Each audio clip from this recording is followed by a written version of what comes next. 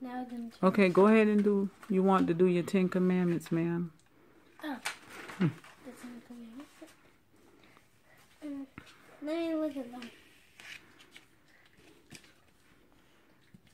So the first one is no other yahs before me, no idols or or graven images. Don't take Yah's name in vain. Keep the Shabbat holy. Honor your father, your father and mother. Thou shalt not kill. Thou shalt not um, commit um, Adultery. adultery. Do not steal. Do not lie. Do not covet